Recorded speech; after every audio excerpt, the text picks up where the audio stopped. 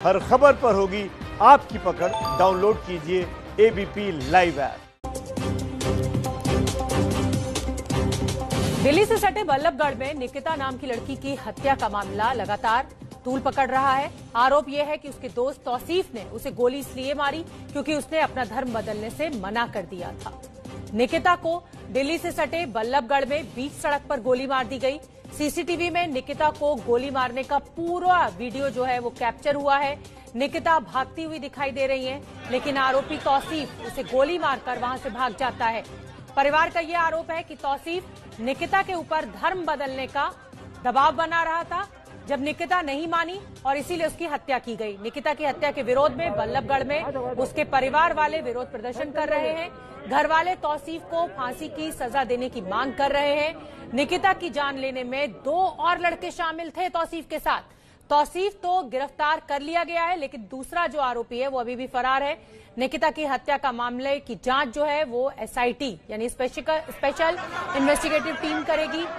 Faridabad police commissioner OP Singh ने SIT जाँच को लेकर ये जानकारी दी। ये तीन तस्वीरें आपके सामने। फरीदाबाद के बल्लभगढ़ की ये घटना कल की है।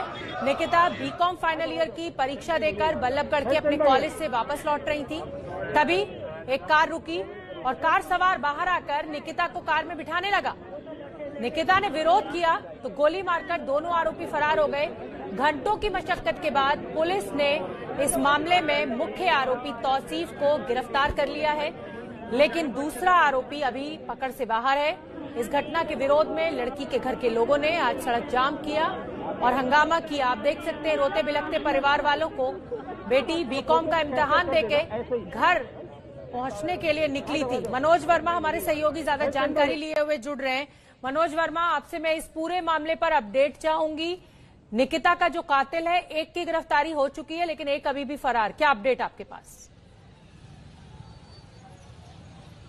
जी, बिल्कुल देखिए, एक कातिल अभी भी फरार है। उसी को लेकर के जो पूरा परिवार है, वो यहाँ पर सड़कों सड़कों पर जो है प्रदर्शन कर रहा है। इस वक्त मैं सोना बल्लभगढ़ रोड पर हूँ, जो, और जो परिवार है, जो आसपास के लोग हैं, वो नेशनल हाईवे जाम करने के लिए देखिए तस्वीरों में आप देख सकते हैं कि वो निकले हैं यहाँ से और ये लोग नेशनल हाईवे जाम करना चाहता है। परिवार के लोगों का साफ़ तौर पर यह कहना है कि इस मामले में एसआईटी बनाई जाए और जो दूसरा आरोपी है, उसको जल्द से जल्द गिरफ़्तार किया जाए। इसी को लेकर के जो पूरा का पूरा परिवार है, जो आसपास के लोग हैं, जो महिलाएँ हैं, वो सड़कों पर अब निकली हैं मार्च करने के लिए। पुलिस का जो यहाँ पर बंदोबस्त है वो भी यहाँ पर किया गया। और अब नेशनल हाईवे जाम करने के लिए ये लोग आगे की तरफ़ बढ़ रहे हैं। इससे पहले मैं आपको बता दूँ कि जो जाम इन लोगों ने लगाया था वो बल्लभगढ़ सोना रोड पर लगाया था। लेकिन अब जो ये पूरा का पूरा काफिला है जो ये लोग हैं जो प्रदर्शनकारी हैं वो अब नेशनल हाईवे की तरफ़ आगे की तरफ़ जो है बढ़ रहे हैं। और नेशनल हाईवे को जाम किया आ, अब जाएगा आगे। आपको बताना चाहूँगा कि जो फरीदाबाद के पुलिस कमिश्नर हैं उनसे हमारी बातचीत हुई है। उनका साफ़ तौर पर यह कहना है कि जो एसआईटी है वो इसमें गठित कर दी गई है और जो दूसरा मुख्य आरोपी इसके अंदर फरार बताया जा रहा है उसकी तलाश में कई टीमें बनाई गई हैं और उसको पकड़ने के लिए भी जो है कोशिशें लगातार जारी हैं लेकिन फ़िलहाल अभी पुलिस के पास एक ही आरोपी है एक ही आरोपी को अभी तक पुलिस ने गिरफ़्तार किया है और जो प्रदर्शन है वो सुबह से चल ही रहा था लेकिन अब प्रदर्शन जो है वो आगे की तरफ़ बढ़ चुका है। मेरे कैमरामैन मनोज आपको तस्वीरों से आगे को लेकर अंतिम संस्कार को लेकर क्या अपडेट है आपके पास? हाईवे के हम एकदम पहुँचने वाले हैं। ये लोग पहले बल्लभगढ़ सोना रोड पर बैठे हुए थे और अब नेशनल हाईवे की तरफ़ जो प्रदर्शनकारी हैं वो पहुँच रहे हैं। आपको बता दूँ कि निकिता का जो पूरा परिवार है वो यहाँ पर इसमें मौजूद है। निकिता की जो बहन है वो हाथ में तस्वीर को लेकर के अब आगे की तरफ़ बढ़ रही हैं और जो प्रशासन है वो भी यहाँ पर इनके साथ मौजूद है और अब जो नेशनल हाईवे है उसको जाम किया जाएगा। जी। मनोज, आपसे मैं जानना चाहूँगी, निकिता के अंतिम संस्कार को लेकर क्या स्टेटस है? क्या पोस्टमार्टम के बाद जो पार्थिव शरीर है, वो परिवार को सौंप दिया गया है?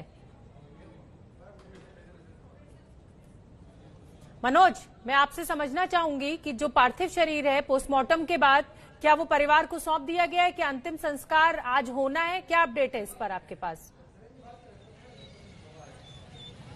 जी बिल्कुल देखिए अंतिम संस्कार अभी होना है लेकिन पार्थिव शरीर जो है वो अभी परिवार को नहीं मिल पाया है। पोस्टमार्टम की जो प्रक्रिया है वो अभी तक चल रही है लेकिन उसके अलावा जो आ, लोग हैं वो सड़कों पर उतर आए हैं। उनमें बहुत ज़्यादा नाराज़गी है उनमें बहुत ज़्यादा गुस्सा है और उस गुस्से की वजह साफ़ है कि जब निकिता कॉलेज से बाहर निकली और उसके बाद अचानक से वो आरोपी वहाँ पर पहुँचता है। पहले तस्वीरों में साफ़ तौर पर सीसीटीवी में दिखाई दे रहा है कि किडनैप करने की कोशिश की जाती है और उसके बाद जब निकिता विरोध करती है तो उसको गोली मार दी जाती है और यही इसी वजह से जो ये लोग हैं आगे आ, आपको तस्वीरों में कैमरामैन मनोज दिखाएँगे जो लोग हैं उसी गुस्से की वजह से अब आगे।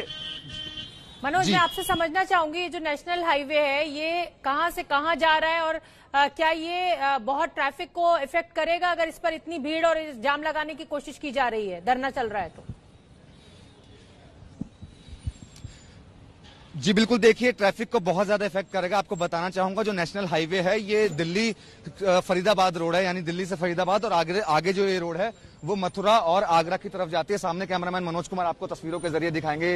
ये सामने नेशनल हाईवे है जो आगरा भी जाता है और अगर लेफ़्ट साइड जाएँगे तो दिल्ली भी जाता है और यही मथुरा भी जाता है। तो अगर ये नेशनल हाईवे जाम होता है तो जो फरीदाबाद की जो स्थिति है वो बहुत ज़्यादा खराब होने की उम्मीदें हैं। आप देखिए तस्वीरों में जो भीड़ है वो अब बिल्कुल नेशनल हाईवे के जो नज़दीक है वो पहुँच चुकी है। इससे पहले जिस सड़क पर मैं चल रहा हूँ, ये बल्लभगढ़ सोहना रोड है। इससे पहले इस सड़क को जाम किया गया था, लेकिन जब मांगे नहीं मानी गई और प्रशासन की तरफ़ से कोई आश्वासन नहीं दिया गया उसके बाद जो अ, लोग हैं वो अब आगे की तरफ़ बढ़ गए हैं। और देखिए अब नेशनल हाईवे के बिल्कुल करीब क्या नेशनल हाईवे पर अब जो है लोग पहुँच चुके हैं? सामने आप देखिए तस्वीरों में नेशनल हाईवे पर जो परिवार के लोग हैं जो आसपास के लोग हैं जो प्रदर्शनकारी हैं वो नेशनल हाईवे पर पहुँच चुके हैं। और अब नेशनल हाईवे को यहाँ पर जाम किया जा रहा है। ये नेशनल हाईवे दिल्ली की तरफ़ भी जाता है और ये नेशनल हाईवे जो है आगरा की तरफ़ भी जाता है। ये मेन मैं मनोज आपसे ये समझना चाहूँगी कि सरेआम एक लड़की की हत्या कर दी जाती है इस तरीके से। क्या पुलिस ने परिवार से बातचीत नहीं की? इस तरीके का धरना प्रदर्शन, इस तरीके की इतनी भीड़ नेशनल हाईवे पर एकत्रित हो जाती है। क्या कर रही है फरीदाबाद पुलिस? जी देखिए कहीं ना कहीं फरीदाबाद पुलिस की नाकामी इसमें साफ़ तौर पर नज़र आ रही है और इसी वजह से जो लोग हैं वो अब आगे जो है प्रदर्शन को करते हुए आगे की तरफ़ बढ़ गए हैं और कहीं ना कहीं नाकामी ज़रूर है फरीदाबाद पुलिस की क्योंकि अभी तक सिर्फ़ इस मामले का एक ही आरोपी पुलिस गिरफ़्तार कर पाई है जबकि दूसरा आरोपी भी साफ़ तौर पर सीसीटीवी के अंदर इसमें नज़र आ रहा है जो गाड़ी चला रहा था वो शख्स दूसरा आरोपी है। पुलिस का साफ़ तौर पर यह कहना है कि उसकी तलाश में छापेमारी की जा रही है लेकिन अभी तक वो पुलिस की गिरफ्त से बाहर है। वहीं परिवार लगातार ये आरोप लगा रहा है। भी लग रहा है कि ये लड़का ज़बरदस्ती धर्म परिवर्तन करवाने की कोशिश कर रहा था। इस चीज़ के लिए दबाव बना रहा था। इसको लेकर क्या जानकारी आपके पास?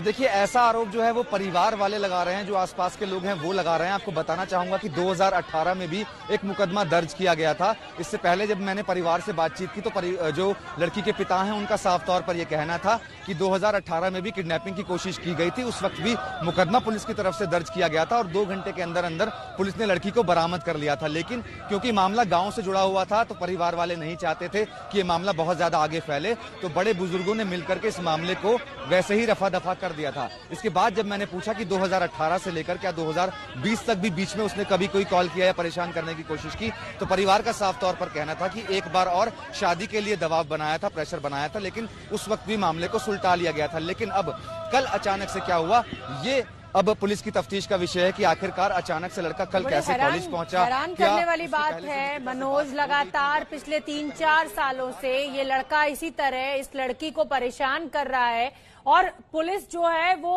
आ, कुछ कर नहीं पाई। और सरेआम इस लड़की की हत्या हो गई। मनोज आप बने रहिए हमारे साथ।